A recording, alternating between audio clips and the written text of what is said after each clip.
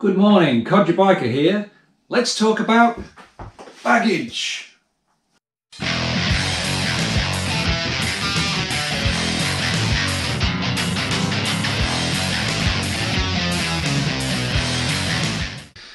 Hello.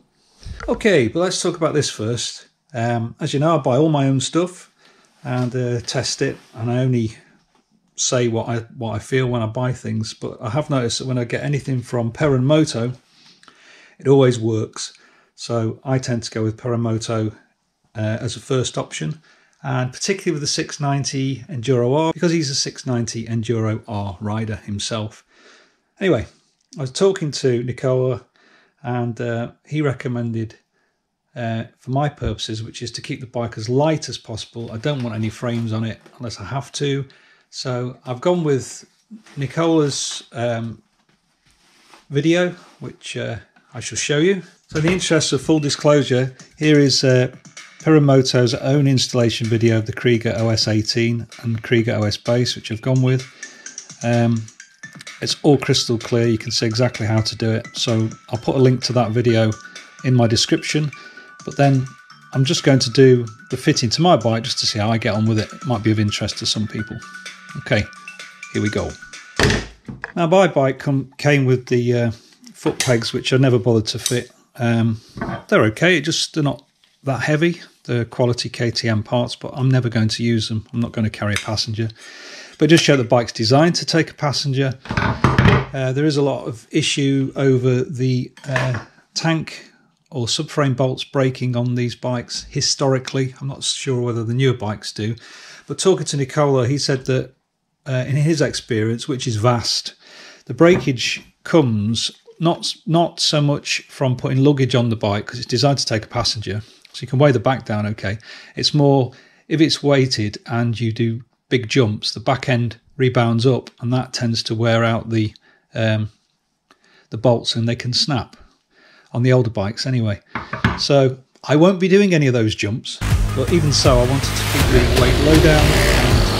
As he points out, if you use the Kriega straps, it actually pulls the um, subframe to the main frame. It sort of holds it all together. So very unlikely that I would ever break those bolts. The other thing to do, I was told by my local garage, is check early on that those bolts come out. So I've unscrewed them and put them back in, torqued them correctly, and I'm just going to undo them every now and then because if one side corrodes, you can never get that uh, tank uh, subframe bushing at the bottom out. Um, so just something to be aware of. I'm probably teaching my grandmother to suck eggs, but uh, the mechanic at my local garage is very adamant that that needed to be done as soon as possible because he had bikes in the past where he wasn't able to get those bolts out after a few years. So just something to um, be aware of if you don't know, which you probably do. So anyway, I'm not going to use those, but these are much lighter. The pair is much lighter than even one of those. Um, so, you know, going with my lightweight and local theme, I'm going to keep it light. But there are some plastic heel guards on the bike at the moment A bit flimsy. But they do the job. It's just stop your feet from kicking inside. So these from Perun Moto being much stronger are designed to do a second job, which is if you look, there is room there for taking straps from your baggage uh, down from the rack. So beautifully designed, as always, really well made, nice and lightweight, weigh very little at all. Not going to add any much more weight to the than the plastic ones. Much stronger, and hopefully, as we shall see, much more useful. Okay, so looking at it, um, it would appear that what you do is you use these as a spacer on the bike. The large washer and the small washer goes at the front, like so. I think that's just to keep the spacing on the bike. Also, I just watched um, a video by Telerover and Deacon. Uh, so shout out to Telerover and Deacon. Uh, I should have mentioned you before. I've watched most of your videos. I have to say, brilliant work, really helpful for somebody who's just come into the 690. Keep up the good work, and I hope you're both okay. I know it hasn't been a video for a while, so just a big shout out if you're out there, Telerover and Deacon. Um, hope things are good. Right, getting back onto it. So the idea is these go onto the bike, and then these cutouts here are the magic, or they will be, we hope. Right, better get the bike out. I warn you now, it's just about to chuck it down, but uh, in fact, it is chucking it down. Oh well.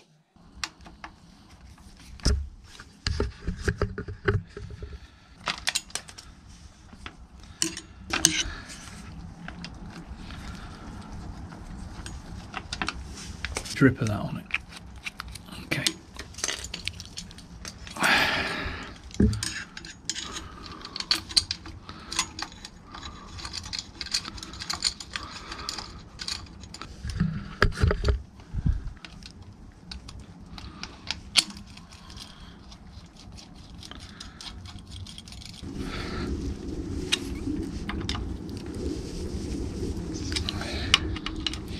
Yeah, another neat thing that uh, is included with Perun Moto is the uh, QR code. If you go on that, uh, as I'll demonstrate with my iPad, takes you straight to the URL for the installation. Brilliant. You can see the large washers go there.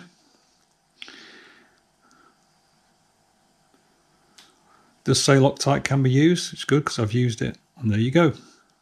So Excellent. I guessed right. Actually looking at these after I fitted them, but uh, you know, that's how easy it is to find the instructions.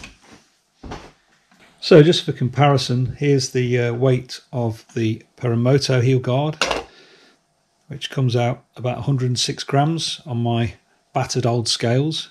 So this is the plastic guard supplied by KTM. That's 60 grams. So we've got only 40 grams on each side. Uh, but if you were to install the passenger pegs on the bike, well, they are 450 grams each. So you can see it's considerably lighter because uh, you could use those for the straps, uh, obviously. You don't have to use them for passengers, but um, I prefer to install as light as lighter weight as possible because two of those is a kilogram, isn't it, more or less? Okay, moving on to the next part of this install. Um, Kriega supply these two uh, mounting systems, as they call them, which fit straight onto the Perun Moto rack, which uh, again, you know, it's just well thought out. The racks are brilliant. Um, I have done a video on the rack, uh, which I'll link at the end. So, what Nicola recommends is to remove the the two um, screws from there and replace them with a couple of M6 by 20 countersunk types because they'll fit into the um, the rack better, as we'll see as we go along. So I'm going to take those out, put those in, and then fit them to the bike. This flat bolt here. I think the idea is that if you, uh, on other enduro bikes, you could uh, drill the plastics, fit that on the inside, screw that on the outside. Um, if you haven't got a carrier or you haven't had the handles installed. Uh, but I don't need to do that because I've got a carrier. So instead of using those, we will use, hopefully, yep, they fit. And it shows in Nicola's uh, video not to tighten them up too much. So what I might do is perhaps put a bit of thread lock on them. I don't know, we'll see. Rack loops. So you get two OS rack loops with the bags themselves. Oh, so as you probably see, it's raining, but here is the genius of uh, a Perun Moto rack. Can now fit the loop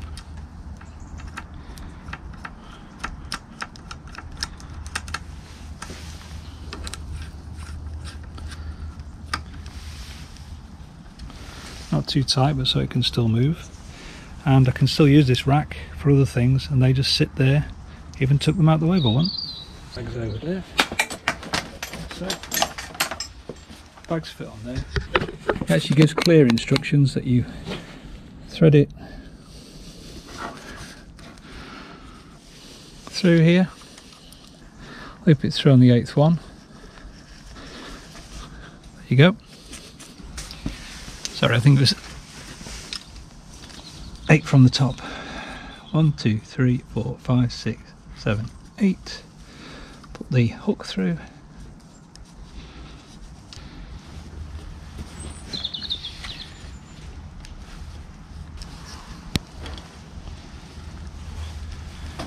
Quite tight.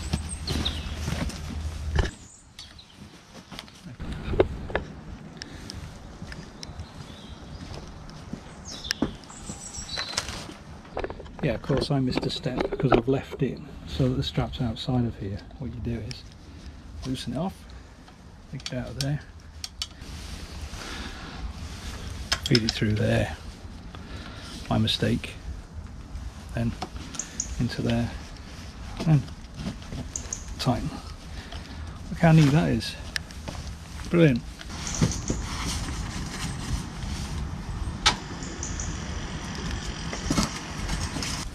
There's no weight in them at all at the moment, they're just full of polythene bags, but very good. Who said you can't go touring? Also, it keeps the weight low, and this strap keeps the back pulled down. Excellent, wonderful design. Yeah, so if I ever do get to go away again, I usually take about, generally I take about 50 litres of stuff with me. That's what I've worked out in the past with a 48 litre box and a few extras. So I'll just stick this bag on the rack at the back with anything more that I need it. It's a wet bag by Lomo. Unfortunately, although it's only two years old, it hasn't fared very well. The zip um, waterproofing is falling off. Look at that. It's just been sitting in the garage.